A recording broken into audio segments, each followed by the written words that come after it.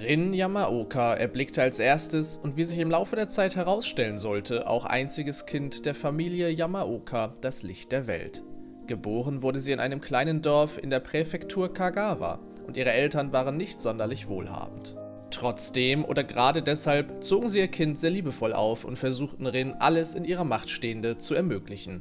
Die Familie Yamaoka lebte in einer kleinen, traditionell japanischen Hütte und weil beide Eltern arbeiten mussten, um sich und das Kind ernähren zu können, war das Haus teilweise etwas staubig und unordentlich. Das störte die Familie doch nicht weiter, denn sie führten ihrer Meinung nach ein schönes, aufrichtiges Leben.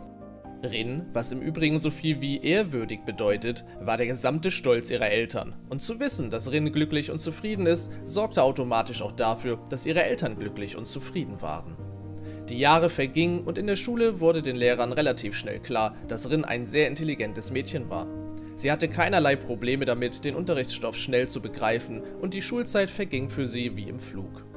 Als sie schließlich das Ende ihrer Schullaufbahn erreicht hatte und ihr Abschlusszeugnis in den Händen hielt, machte sie sich an die Zukunftsplanung. Für sie war relativ schnell klar, dass sie selbst Kinder unterrichten und ihnen Wissen vermitteln möchte. So kam es, dass sie sich an mehreren Universitäten auf ein Lehramtsstudium bewarb. Es verschlug sie schließlich in die Stadt Takamatsu, wo sie an einer privaten Universität ihr Studium begann. Die Stadt an sich war ein komplett neues Erlebnis für Rin, aber auch hier fühlte sie sich sehr wohl. Ihr Studium war sehr fordernd, aber sie entwickelte eine Menge Ehrgeiz und fand schnell auch Freude daran. Natürlich riss das Studium ein großes Loch in die ohnehin schon wackeligen Finanzen ihrer Eltern. Jedoch war es für Rins Eltern selbstverständlich, sie bei der Verwirklichung ihrer Träume zu unterstützen und wenn nötig selbst Abstriche zu machen. Nach einiger Zeit wurde Rins Mutter jedoch krank und es war ihr nicht mehr möglich, ihrer Arbeit nachzugehen. Die Rechnungen begannen sich zu stapeln und der Vater konnte nicht mehr sämtlichen finanziellen Verpflichtungen gerecht werden. Rin nahm aus diesem Grund neben ihrem Studium einen Halbtagsjob in einem Restaurant an, um ihren Anteil an den Finanzen leisten zu können. Wie sich herausstellte, war es jedoch ein sinnloser Versuch, den Verlust des Lohns ihrer Mutter auch nur ansatzweise aufzufangen. Die Schulden ihres Vaters wuchsen ins Unermessliche und es war keine Besserung in Sicht. Aus diesem Grund entschloss sich ihr Vater dazu, Doppelschichten zu schieben. In der Hoffnung, so schneller befördert zu werden und dementsprechend auch mehr Lohn zu erhalten, ackerte ihr Vater Tag und Nacht. Als wäre die hoffnungslose Überarbeitung nicht schon schlimm genug, so litt er bereits nach einigen Wochen zusätzlich an Schlaflosigkeit. Mit der Zeit wurde es immer schlimmer und er vernahm ein leises, dumpfes Flüstern, das ihn die ganze Nacht vom Schlafen abhielt. Die Stimme erinnerte ihn immer wieder an die ausweglose Situation, in der er und seine Familie steckten. Dadurch, dass er seine Augen nicht mehr schließen konnte, ohne die Stimmen in seinem Kopf zu hören, litt er zunehmend unter einer enormen Erschöpfung. Es wurde sogar so schlimm, dass er teilweise nicht mehr wusste, was real und was nur seiner eigenen Einbildung entsprang. Erst fing er an, den Stimmen in seinem Kopf zu widersprechen. Als das nichts änderte, begann er sogar damit, ihre Existenz zu verleugnen, in der Hoffnung dadurch endlich seine Ruhe wiederfinden zu können. All das half jedoch nichts und es wurde bloß noch schlimmer. In seiner Verzweiflung sah er nur noch einen Ausweg. Er bat seinen Vorgesetzten um ein Gespräch. Er bettelte ihn förmlich an, ihm einen Bonus zu gewähren oder zumindest einen kleinen Gehaltsvorschuss zu bekommen, um seinen finanziellen Verpflichtungen nachkommen zu können. Wenn all das nicht möglich ist, vielleicht zumindest Urlaub zu bekommen, um wieder klare Gedanken fassen zu können. Ganz gleich, was es auch war, er griff nach jedem Strohhalm. Leider war sein Versuch jedoch nicht von Erfolg gekürt. Sein Anliegen wurde einfach eiskalt abgeschmettert. Das Unternehmen hatte vor kurzem erst eine fehlerhafte Produktlinie auf den Markt gebracht, die ihn ein riesiges Loch in die Finanzen riss. Natürlich musste irgendjemand für diesen Fehler verantwortlich gemacht werden.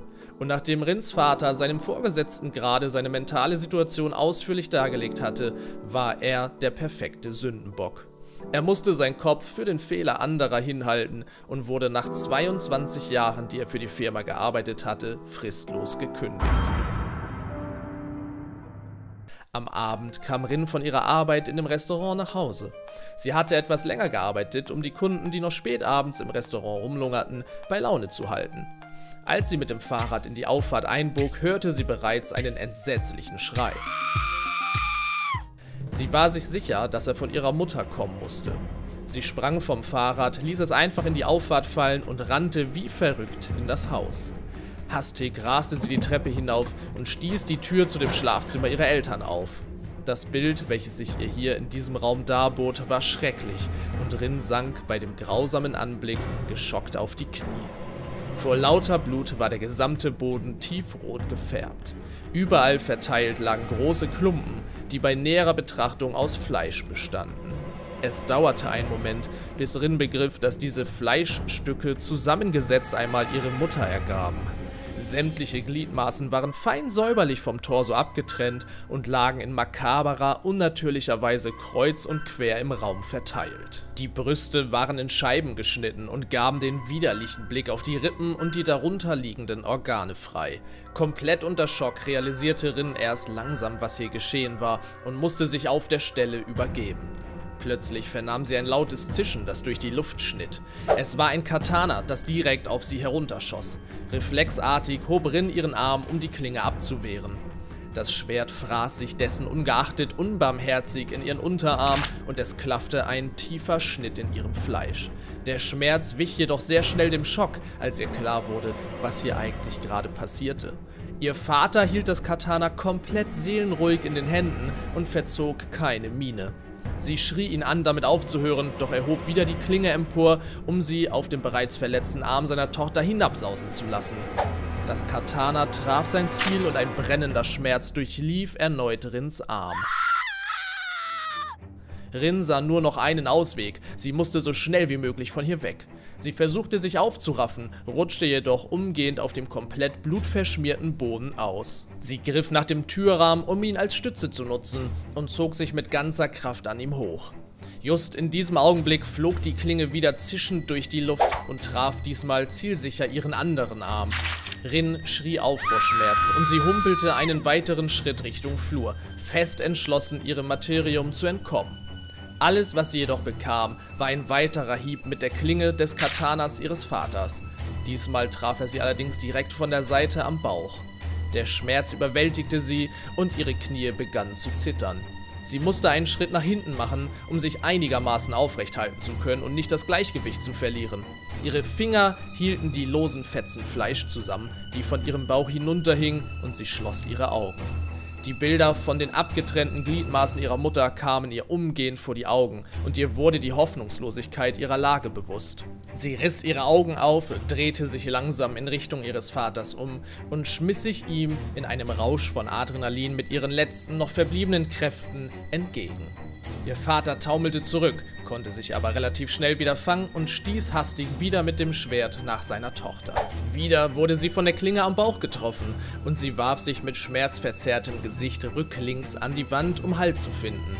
Gerade als sie sich aufraffen wollte, um wieder auf die Beine zu kommen, durchfuhr ein gleißender Schmerz ihren Schenkel. Es hatte keinen Sinn mehr, mit dem verletzten Bein konnte sie nicht mehr aufstehen und brach auf dem Flur zusammen. Mit letzter Kraft zog sie sich Zentimeter um Zentimeter vorwärts Richtung Treppe. Natürlich hatte ihr Vater kein Problem damit, sie einzuholen. Er packte sie an ihren Haaren und zog sie mit einem Ruck empor. Anschließend warf er sie mit voller Kraft durch eine Trennwand. Das Glas klärte schrill, als Rin durch die Trennwand flog, und sie fand sich im Erdgeschoss wieder, als sie sich langsam wieder traute, ihre Augen zu öffnen. Irgendwo über sich konnte sie Schritte hören, die sich langsam aber sicher in Gang setzten. Rin wurde von Sekunde zu Sekunde schwächer, doch ihr Überlebenswille war noch immer ungebrochen. Sie mobilisierte sämtliche Kraftreserven und zog sich mühsam über den mit Scherben gespickten Boden. Die Scherben bohrten sich in ihre Haut und zogen tiefe Schnitte über ihren gesamten Körper. Sie wusste nicht mehr, wie sie ihren Vater aufhalten sollte, aber irgendjemand oder irgendetwas musste doch in der Lage sein, ihn zu stoppen. Er durfte einfach nicht damit davonkommen, was er ihr angetan hatte. Noch viel schlimmer, was er ihrer erkrankten Mutter angetan hatte. Ihr Kinn schrammte über die Scherben, der Schmerz wurde immer unerträglicher. Rin begann vor Anstrengung zu husten und das Atmen fiel ihr mit jedem Zug schwerer. Der Geschmack von Blut war ihr nun ein treuer Begleiter. Alles, was sie jetzt noch hören konnte, war ein dumpfer Herzschlag. Ihr Körper fühlte sich tonnenschwer an, und die Last, die auf ihm lag, ließ sie daran zweifeln, dass sie ihn auch nur noch einen Millimeter weiter bewegen konnte. Mit jedem Schritt ihres Vaters konnte sie spüren, wie der Boden unter ihr erzitterte. Natürlich war ihr schon lange bewusst, dass sie den Abend wohl nicht mehr überleben würde. Inzwischen sah sie ihrem Tod jedoch gleichgültig entgegen. Es kümmerte sie nicht, dass sie bald sterben würde. Alles, was jetzt noch für sie zählte, war ihre Rache. Ihr Vater würde für all das hier, egal ob in diesem oder im nächsten Leben, bezahlen müssen. Langsam begann sich ein dunkler, schwarzer Nebel wie ein Schleier vor ihre Augen zu legen. Aber auch das konnte ihren unbändigen Zorn nicht lindern. Sie würde nicht aufgeben, nicht jetzt. Plötzlich vernahm sie aus der Dunkelheit ein leises Flüstern, welches ihr verführerische Versprechungen über Rache und Blut ins Ohr flüsterte. Sie überlegte nicht lange und schloss einen Pakt mit dem Entitus und schloss mit einem diabolischen Grinsen ihre Augen. Von diesem Zeitpunkt an nahm Rin nicht nur an ihrem Vater Rache, sondern sie gab sich komplett ihrer Wut und ihrem Zorn hin, wo auch immer sie der Meinung war, dass es gerechtfertigt sei. Von nun an nahm ihr Dasein als Rachegeist seinen Lauf, und ab sofort würde sie auch der zweiten Bedeutung ihres Namens alle Ehre machen. Denn Rin bedeutet auch bittere Kälte.